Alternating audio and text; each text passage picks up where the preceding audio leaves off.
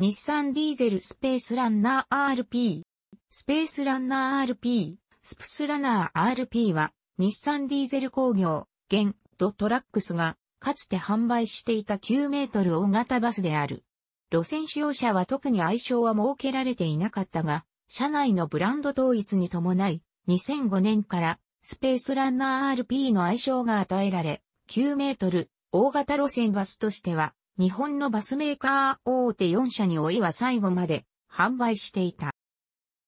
本項目ではかつて販売されていた9メートル大型観光バスのスペースアロー RP やスペースアロー A ショートタイプについても記載する。日産ディーゼルは1973年の 4R82 型製造終了後以降、9メートル大型バスを製造していなかったが、同社製バスを多く使う関東バスからの要請で、1986年に再び路線バスの製造を再開した。しかしながら、どの車種をとっても生産台数が少なく、近年では発注があってから国土交通省の形式認定を受ける場合もある。新長期規制に完全に適合した2007年9月以降は発売されていない。一方の9メートル観光バスは路線と同じシャーシーの RP 系で1991年に参入している。こちらも生産台数が少なく2005年に生産中止となった。その後観光、RP 系の後継として2008年より2010年まで三菱不走からの OEM 供給で AM 系が発売されていた。車体は富士重工業で仮装されていたが、2003年の同社の撤退に伴いそれ以後は西日本車体工業で仮装され、最終的には三菱不走バス製造で仮装されていた。車体を参照。なお、9メートル大型バスであるが、日産ディーゼルは中型バスとして扱っている。ただし、エンジンに関しては、長弱車の JP と同じエンジンを搭載している。1986年に PRP80G 型が製造開始される。エンジンは FE6 型 180PS である。ただし、製造台数は少なく、50台以下と言われる。PRP80G 型は1990年まで製造された。1991年に平成元年排出ガス規制適合に合わせて URP210 ガン型が製造開始される。PRP80G 型はリーフサスのみの設定であったが URP210 ガン型はエアサス、ターボ付きエンジンのみ形式認定となりリーフサスなエンジンは改造形式となる。エンジンは標準がターボ付きの FE6T 型 205PS で改造扱いのなエンジンが FE6 型 185PS となる。他車種に比べ排ガス規制適合が1年遅れたが、これは日産ディーゼルにとって9メートル大型バスは機関車種ではないためだと言われており、実際導入例も少ない。1995年に平成6年排出ガス規制に合わせて KCRP211GSN、KCRP250 ガンが製造開始される。エンジンはターボ付きの FE6TA、235PS となエンジンの FE6E、205PS の2種類で、いずれも形式認定を得ている。またサスペンションもエアサス、リーフサスの双方が設定されている。形式は、なエンジンマイナスリーフサスが KCRP211GSN なエンジンマイナスエアサスが KCRP211 ガン、ターボエンジンマイナスエアサスが KCRP250 ガンとなる。なお、製造台数が少なかったため、ターボエンジンマイナスリーフサスという組み合わせは製造されていないと思われる。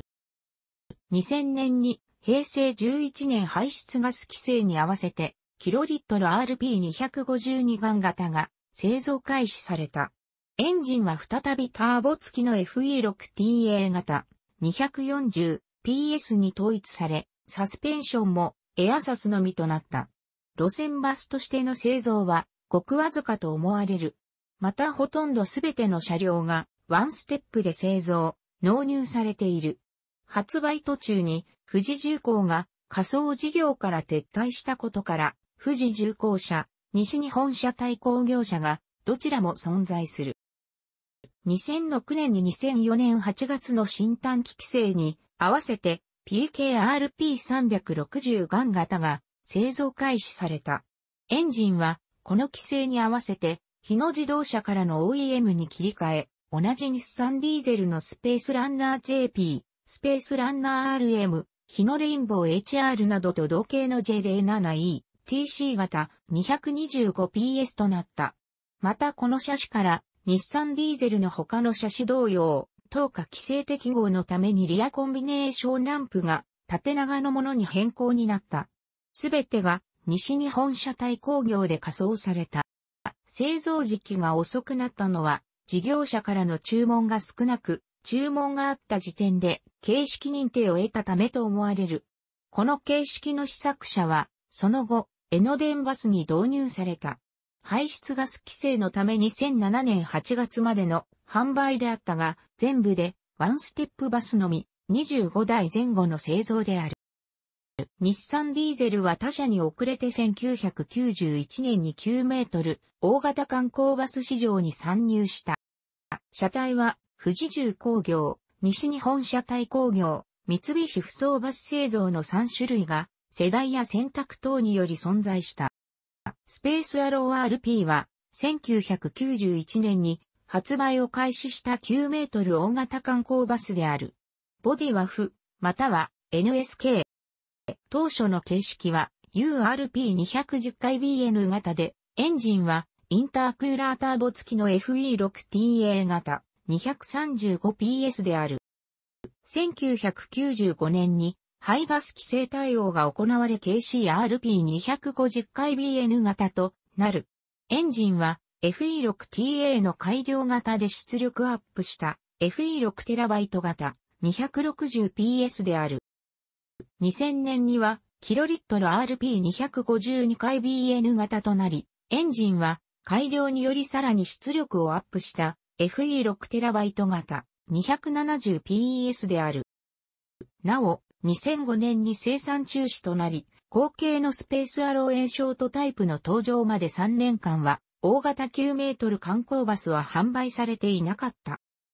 スペースアローエーショートタイプは、9メートル、大型観光バスの三菱不走、エアロエースショートタイプ MM の OEM 供給車で、形式は AM 系の PDG AM96FH である。ボディは三菱不走の純正である MFBM。